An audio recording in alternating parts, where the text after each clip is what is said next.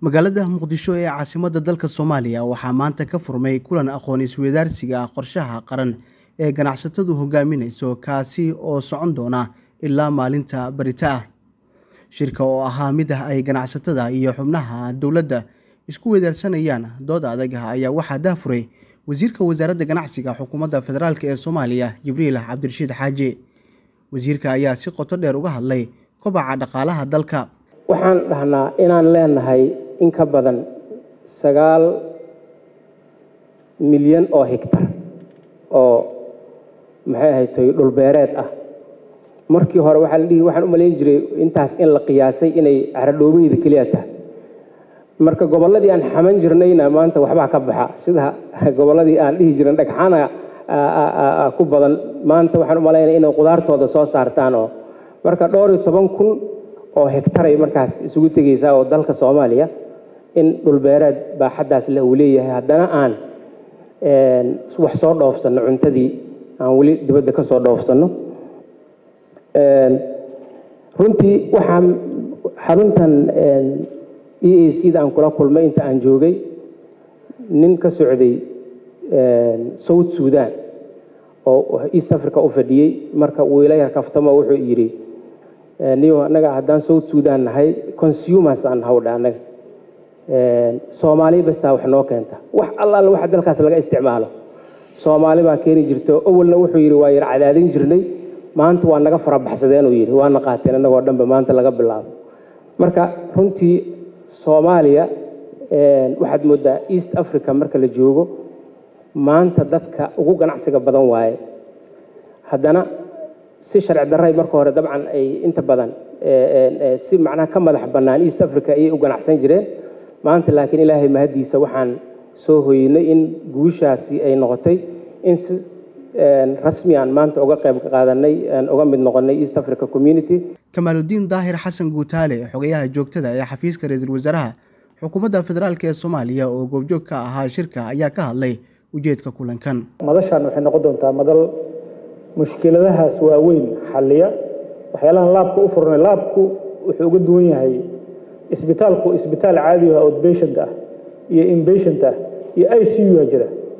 Laabku waa i c u-da mushkiladahan haysato weyaan marka waxaan rabnaa inaan mushkiladahaas oo kale inaan saan u xalinayno runtii inaan isku keenno dadkii private sector ka shaqaynayey khubaradii practitionerskii dowladdii iyo dadkii public policy makerska ah inta la isu keeno hal mar mushkiladda la wada xaliyo marka waxaan rajaynaynaa in runtii mushkiladahaas la soo sheegay in uun la dul istaagi doono sidoo kale maantay waxaan ku qaadanay presentationno wax badan aan aada uga faa'iidnay doctoorka public private partnershipka wasaaradda maaliyadda economic outlooka iyo investmentiga partnershipka ganacsatada iyo private sectorka maxay ka midoobi karaan maxay ka wada shaqay karaan?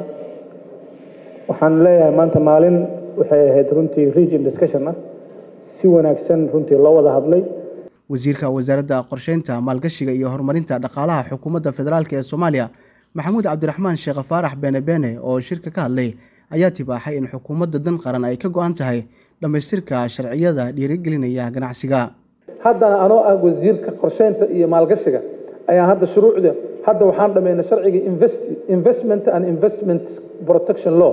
Sharcigii ilaalinayay maalgashadaha iyo hantidiisa inaan la taaban karin oo aan ilaalino oo aan hantidiisa iyo shaksiyadiisa inaan lagu xadgudbi shaqaynaya waa sharciga isaga naftiisa aad iyo aad muhiim u ah oo madaxweynaha uu saxiixay shuruucdii tirada badnaayee sanadka la soo dhaafay. La saxiixa ka mid ahayd hadda waxaa baarlamaanka noo yaallo oo golaha wasiirada soo ansixiyay hay'addii maalgashiga soomaaliyeed oo ah hay'addii macnaha bromote garayn u doodi laheyd soomaaliya investment hub inay noqoto. Meeshii la soo maalgashan lahaa meeshii maalgashi loo imaan lahaa la imaan lahayd boolasiyadii dadka airly moverska la dhahaa ee dalka markii cusub yahay u yahay untabet fursadaha aan laga faa'iidaysanin. Dadkii imaan lahaa dhiirigelintooda iyo facilitationkooda iyo markay imaadaan bosti maxaan ku dhahaa loo adeego waxay u baahan yihiin shuruucdii iyo wixii ka shaqaynaysay maalgashiga dalka imaanaya ayadana hay'addii waxay taallaa baarlamaanka akhrinta labaad ee maraysaa hal akhrina laba akhrina noo dhiman kabacdina aqalka sare aadaysaa dhankiisa wasiirka wasaaradda beeraha iyo waraabka xukuumadda federaalk ee soomaaliya xildhibaan maxamed cabdi xayir maareeye ayaa ka hadlay kulanka. Waxaan dhihi karaa meesha transformation u baahan waa bulshadeena meeshay u badantay wax soo saarka beeraha iyo xoolaha. Ayaa transformation u baahan. Waa nasiib darro dadka soomaaliyeed afartankii siday xoolaha iyo neefka u dhaqanayeen inay laba kun labaatan iyo afar u dhaqanayaan. Same isku mid ah. Den meeshaasaa transformation u baahan. In nolosha loo fududeeyo sida bini aadanka ama dadka adduunka ee xoolaha iyo beeraha isku dhaqda ay furan yihiin taas wey ujeedka. Agrobastral initiative waayo marka magaalada boosaska ku wareegsan waa inaynu ka faa'iidaysanaa inta dhulku magaaladu ku soo gaadhayso ka hor aada beer ka dhigataa taas way mashruuc. Aan u keennaa booqasho beer iyo xoola anigu caano geel baan cabbaa marmar meelahan magaalada wax ku xeraysa baa layga soo lisaa. Lakiin waxaan doonayaa meel oo beer iyo xoolo isla ah oo ceelkii leh oo solarkii leh berkadii marmarka qaarkood roob hadduu da'ayo leh oo nimcaysan. Ganacsatada ayaa inta ay socotay dooda aqoon iswadaarsiga qorshaha isbeddelka qaran ee ganacsatadu hogaaminayso ayaa waxaa cilmibaarisyo kala duwan soo bandhigay ganacsatada. Wasiiru dowlaha xafiiska ra'iisul wasaaraha xirsi jaamac gaane ayaa soo xiray kulankii maanta discussioniskan maantana wax dhaceen berrina qeyb kale la filayo. Waxaa la rabaa inay ka soo baxaan sidii ganacsatooy idinkuna aada u horumari lahaydeen dowladda soomaaliyeed iyo ummadda soomaaliyeedna aada uga qeyb qaadan lahaydeen horumarkooda. Dowladda waa ka go-an tahay transformationka in la sameeyo.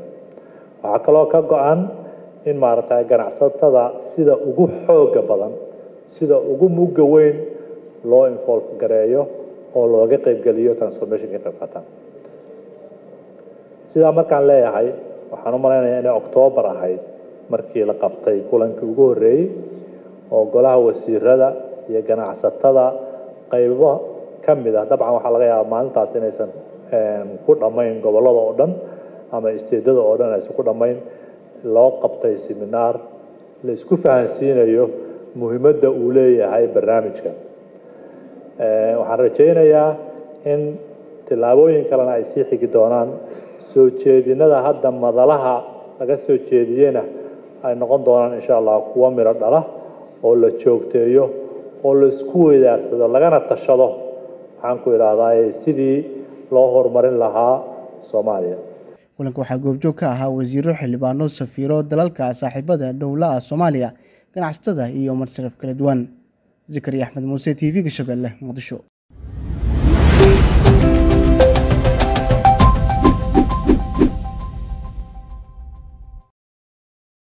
Internet balas waa adeeg ay macaamiishu ka heli karaan internet faibar ah oo xawaarihiisu yahay labaatan megabytes ber second. Ayna la socdaan rasiifar ay ku jiraan in ka badan afar kun oo kanaal iyo boqolaal daqiiqado oo ah ku hadal bilaash ah